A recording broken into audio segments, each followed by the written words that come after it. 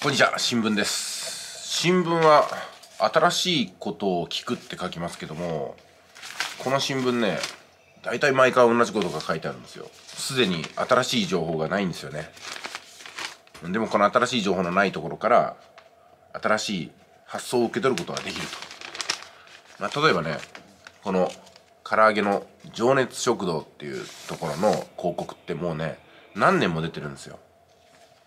何年も出てるってことは多分効果があるんでしょうね。で効果があるってことは効果が分かるような仕掛けで出してると思うんですよ。例えばここね切り取って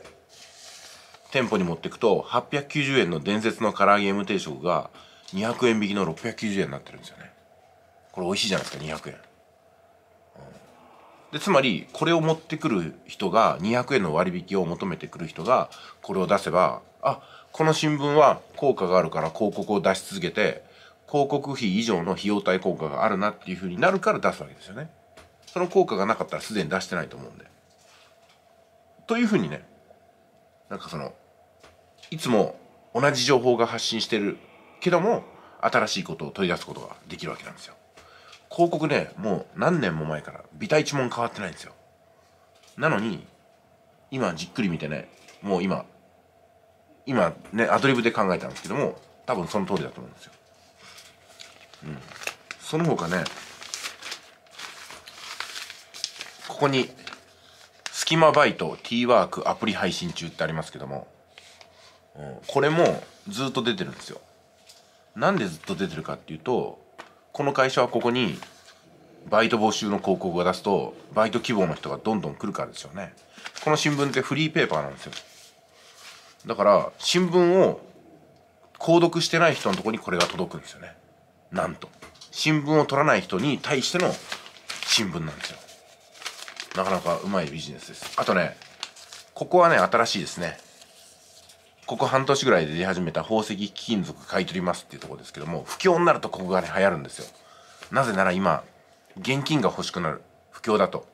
車を売ったり土地を売ったりマンションを売ったりそれこそね安値でも少々安値でも売るんですよ。現金が欲しいから。その中で宝石とか金属を一時期儲かった人が所有してたらねそれを手放して当座の資金にするんですよね。復活資金に。だから宝石とか貴金属買い取るんですけども買い取ったやつは溶かしてこねくり回してまたねデザインを一新にして新品として売るんでいいんですよ。中古品が新品になるんですよ。だからどんな形のものでもどんな古くても買い取れば新品で出せるというね。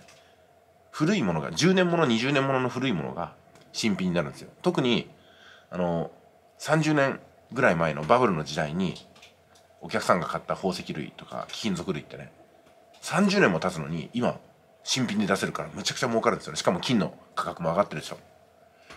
で今回のウクライナロシアに関しまして金の価格も上昇してるんですよね。うん、ということでねまあ祈ってばかりじゃ見つからないけどもこうやって古い新聞古新聞っていうとね古いのか新しいのかよく分かんないですけどもそういう中からもちゃんと情報が抜き取れるってことですよね。ちなみにねうちの町内にはね薄い厚紙回収しますみたいなチラシも投げ込まれるんですよ。薄い厚紙ってなんだよって。それは厚紙じゃねえだろみたいな思うんですけどね。いってらっしゃい。